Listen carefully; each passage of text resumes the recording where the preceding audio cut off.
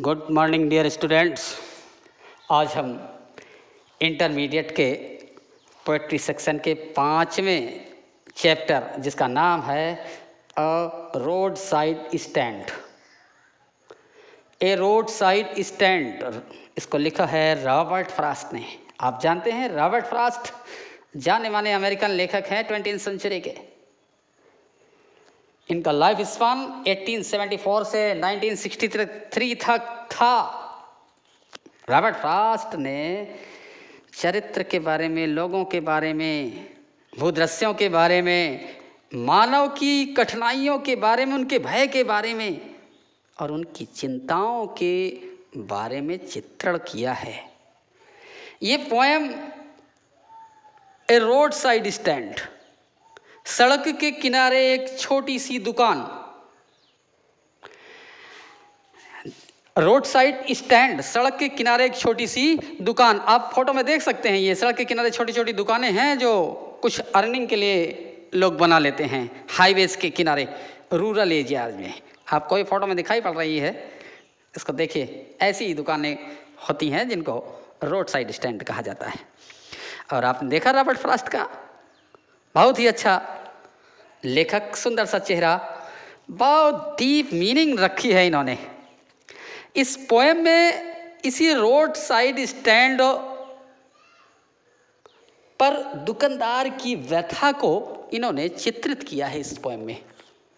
तो चलते हैं सीधे पैसेज की ओर और, और देखते हैं पहला passage. The little old house was out with the little new shed pencil pen कलम लेकर के बैठा करिए किताब। जहाँ कठिन लगता, वहाँ वर्ड मीनिंग भी नोट कर लिया करिए। वैसे तो मैं वर्ड मीनिंग पहले भी भेज देता हूँ लिख करके, लेकिन फिर भी देख लिया करिए आप सब।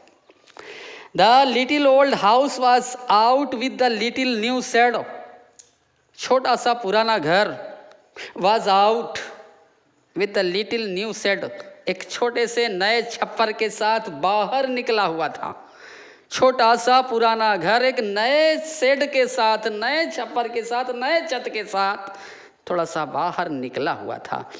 In front at the edge of the road in front सामने at the edge of road सड़क के किनारे, सड़क के किनारे सामने पुराना सा मकान था, उस पर एक नई सेट डाल करके उसके भाग को आगे बढ़ा दिया गया था।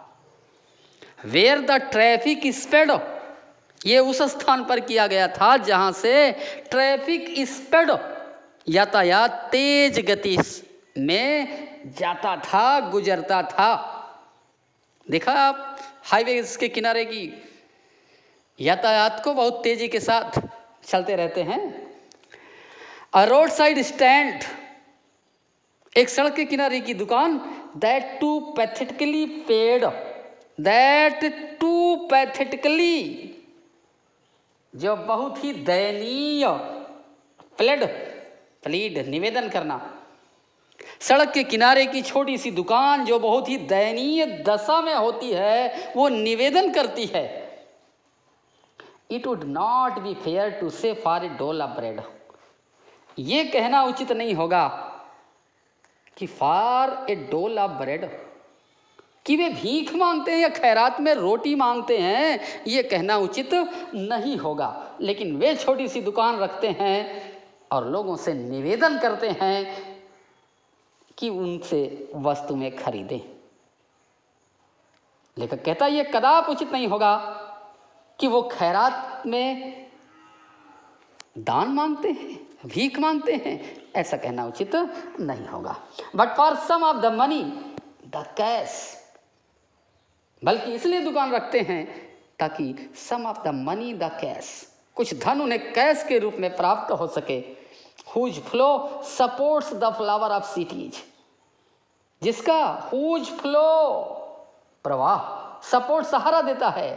द फ्लावर ऑफ़ सिटीज़ शहर के लोगों को फ्लावर अब सिटीज़ का मतलब शहर के फूल नहीं है।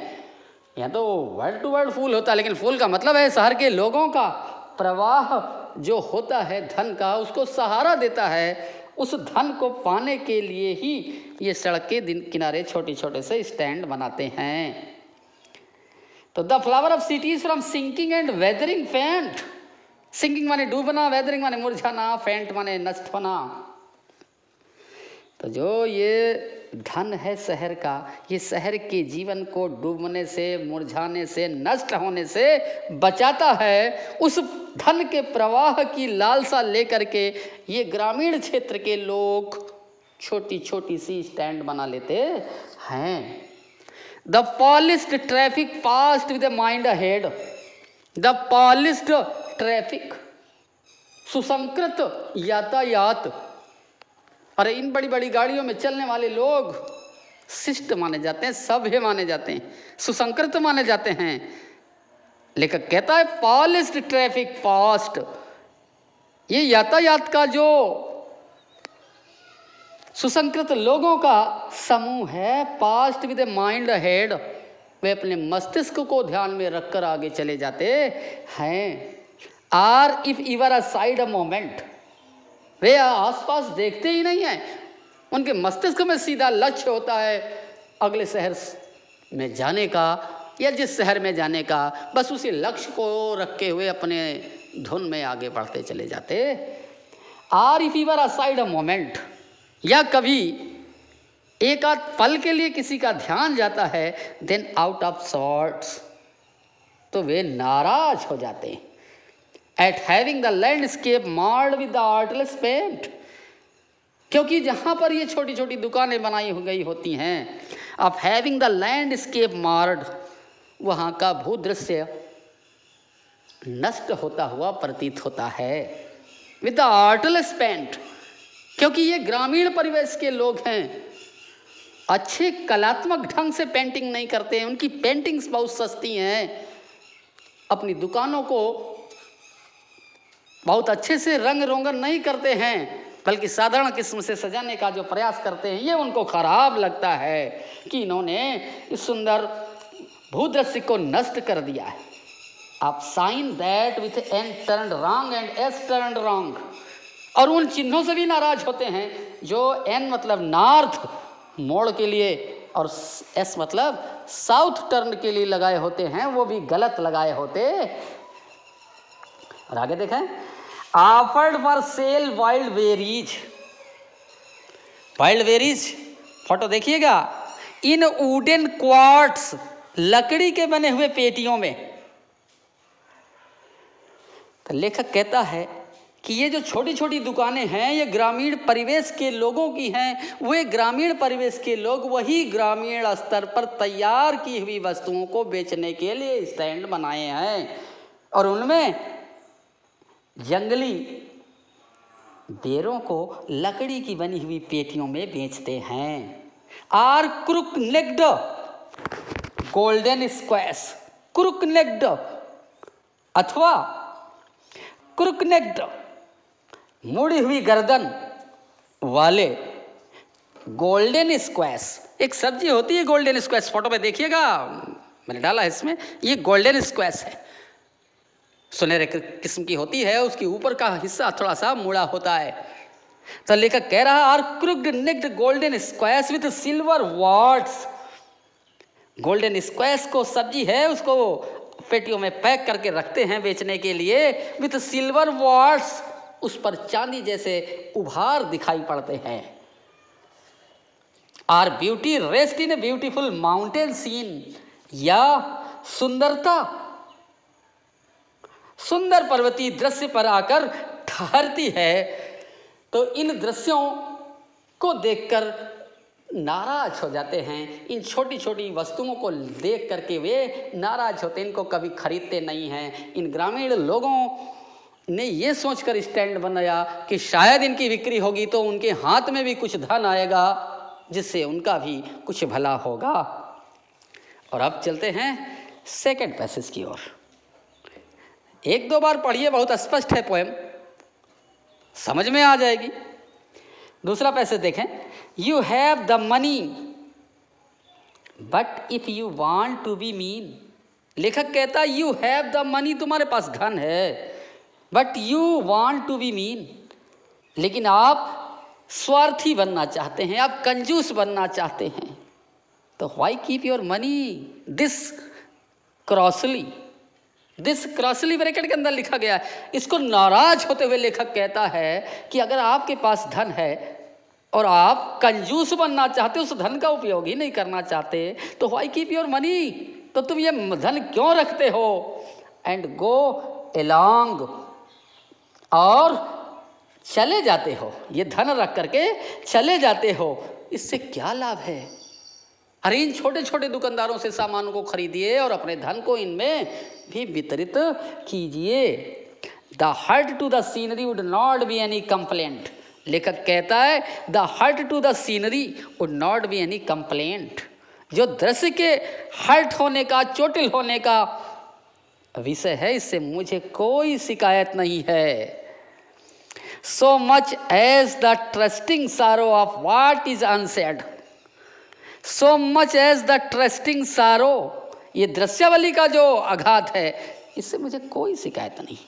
अरे मुझे तो शिकायत है, इतने विश्वसनीयता के साथ इन्होंने अपनी दुकानें लगाई और परिणाम ज़ीरो निकलता है तो उनका जो दुख है वो अन कहा है, मुझे इसका दुख है। Here far from the city we make our road side stand यहाँ फार फ्रॉम द सिटी शहर से दूर we make our road side stand हम सड़क के किनारे अपनी दुकानें बनाते हैं. And ask for some city money to feel in hand और चाहते हैं, प्रयास करते हैं कि शहर का कुछ धन का प्रवाह उनके हाथों में भी आए. To try if it will not make our being expand हमें कोशिश करना चाहिए। वैसे हम जानते हैं कि इससे हमारे अस्तित्व का विस्तार नहीं होगा, लेकिन हम कोशिश करते हैं। And give us the life of the moving pictures promise that the party in power is set to be keeping from us and give us the life of the moving pictures और moving pictures के जीवन, यानी चलचित्रों जैसा जीवन promise वादा किया जाता, हमसे चलचित्रों जैसा जीवन यापन करने का वादा किया जाता है। That the party in power is said वादा कौन करता है? जो पार्टी शासन में होती है, सत्ता में होती है, वो सब्ज बाग दिखाती है, लोगों को सपने दिखाती है कि मुझे वोट दो और हम तुम्हारे जीवन को आसान बना देंगे, तुम्हारा भी जीवन उतना अच्छा होगा जितना कि मूविंग पिक्चर्स में लोगों का आ, होता है। तो ये हाँ पार्टी इन पावर का फ़ोटो देखिएगा।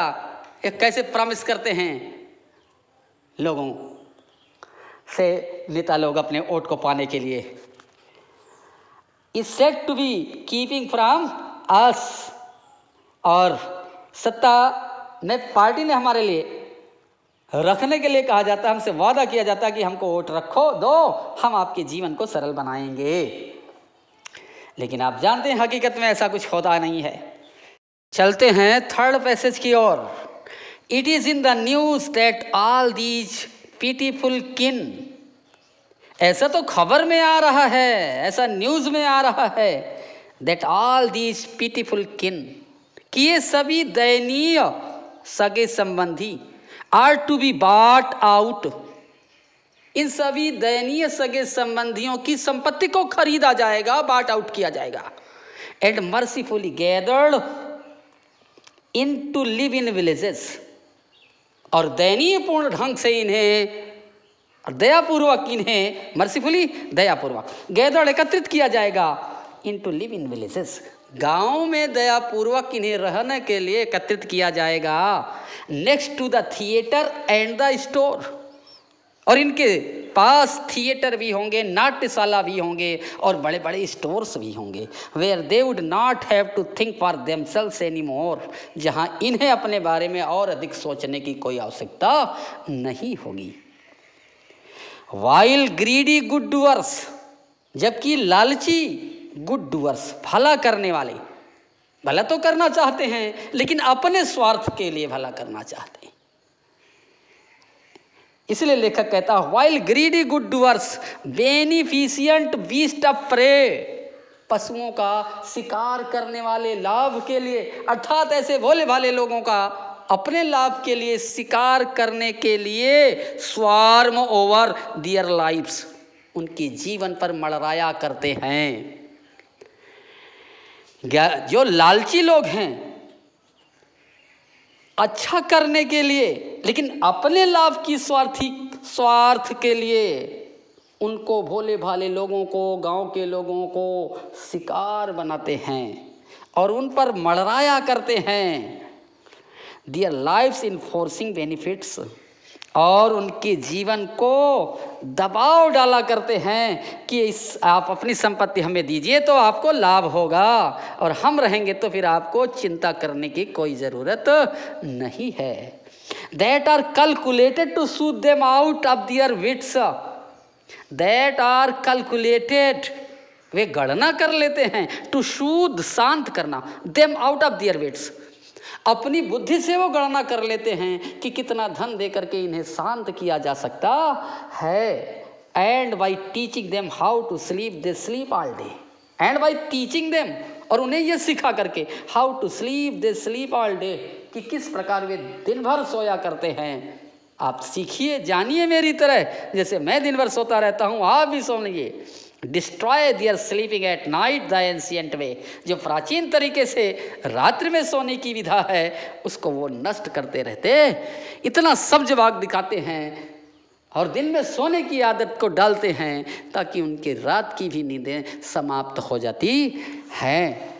और बढ़ते हैं चौथे पैसेज की ओर। जिन लोगों ने पहली बार मेरे चैनल को ज्वाइन किया, वो लाइक करें शेयर करें और चैनल को सब्सक्राइब करें। चलिए, देखें passage number four. Sometimes I feel myself I can hardly bear sometimes I feel लेखक कहता कभी कभी आई फील माई सेल्फ कभी कभी मैं स्वयं महसूस करता हूँ आई कैन हार्डली वियर तो मैं बहुत मुश्किल से सहन कर सकता हूँ।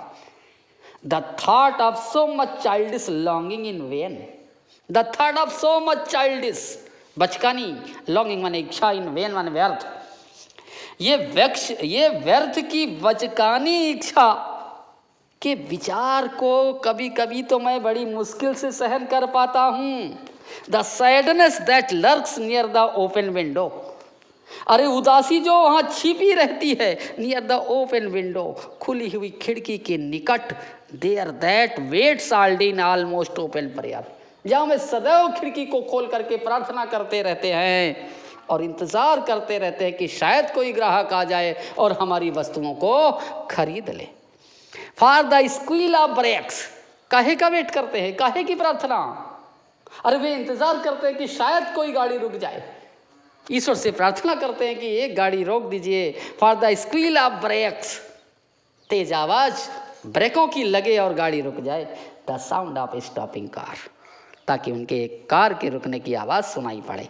Of all the thousand selfish cars that pass और हज़ारों स्वार्थी कारें उस रास्ते से गुजर जाती हैं। Just one to inquire what farmer's price are तभी just one to inquire what farmer's prices are एक गाड़ी रुकती है ये पूछने के लिए कि व्हाट द प्राइसेस आर कि उनकी वस्तुओं की कीमत क्या है? एंड वन डिड स्टॉप कुछ लेता नहीं है, केवल कीमत पूछता है और बैक हो जाता है। इसलिए बैक हो जाता है कि ये ग्रामीण परिवेश के लोग हैं। इन्होंने जो उगाया है, उसी को बेचने का प्रयास कर रहे हैं। और जो उगाया है, निश्चित रूप से वो बहुत अच्छा नहीं है अच्छे अच्छे स्टोरों का नहीं है। इसलिए वो उन्हें पसंद नहीं आता है, केवल दाम पूछकर वापस चले जाते। एंड वन डिड स्टॉप और दूसरा भी रुकता था। But only to plough up grass केवल घास को नष्ट करने के लिए। In using the yard to back and turn around in using the yard उसके अहाते को, अपनी गाड़ी को वापस मोड़ने के लिए प्रयोग करता है, उसकी घास को नष्ट कर देता। And another to ask the way to where it was bound तीसरा भी गाड़ी वाला रुकता है तो क्या पूछता है? To ask the way to where it was bound. ये रास्ता कहाँ के लिए जाता है? केवल इतनी बात पूछने के लिए रुकता है। सामान कोई नहीं खरीदता है। And another to ask could they sell it a gallon of gas एक चौथा भी रुकता है गाड़ी वाला तो पूछता है कि क्या आपके पास एक गैलन गैस है, जिसका उपयोग हम अपनी गाड़ी में करते हैं चलाने के लिए। गैस से चलती हैं गाड़ियाँ, सी जी। पूछता है, क्या आपके पास एक गैलन गैस है? They could not this crossly वे नहीं रख सकते दिस क्रॉसली लेखक फिर नाराज़ होते हुए कहता है दे हैड नन उनके पास कुछ नहीं है। डिड नॉट इट सी क्या ये तुम नहीं देखते हो? उनके पास कुछ नहीं है। लेखक नाराज़ होते हुए कहता है, क्या तुम्हें ये दिखाई नहीं देता है? और देखते हैं इस चैप्टर का अंतिम स्टेंजा नो, नहीं, in country money the country scale of gain no, in country money country money देहात। कंट्री मीन्स होता है देहात या गाँव। और फिर आगे आया है the country scale of gain country scale of gain, यानी देश के लाभ के स्तर में गाँव का धन नहीं है। नहीं, देश के धन में गाँव के लाभ के स्तर का धन नहीं है। The requisite lift of spirit has never been found the requisite lift अपेक्षित उत्थान की भावना spirit has never been found अरे इन शासन के लोगों के द्वारा, इन राजनीतिज्ञों के द्वारा गाँव के स्तर को बढ़ाने का अपेक्षित भाव कभी भी नहीं पाया गया। गाँव के स्तर को बढ़ाने का अपेक्षित भाव कभी भी नहीं पाया गया। Or so the voice of the country seems to complain. अथवा इसीलिए the voice of the country seems to complain इन गाँव के लोगों की आवाज़ शिकायतें सुनने में आती हैं I can not help owning the great relief it would be लेखक कहता I can not help owning owning owner बनाना मालिक बनाना लेखक कहता है मैं मालिक बनाने में कोई मदद नहीं कर सकता the great relief it would be लेकिन इससे मुझे बहुत राहत होगी to put these people at one stroke out of their pain अगर एक ही स्ट्रोक में, एक ही प्रहार में इन लोगों के दर्दों को हमेशा हमेशा के लिए समाप्त कर दिया जाए तो निश्चित रूप से मुझे बहुत ही राहत होगी।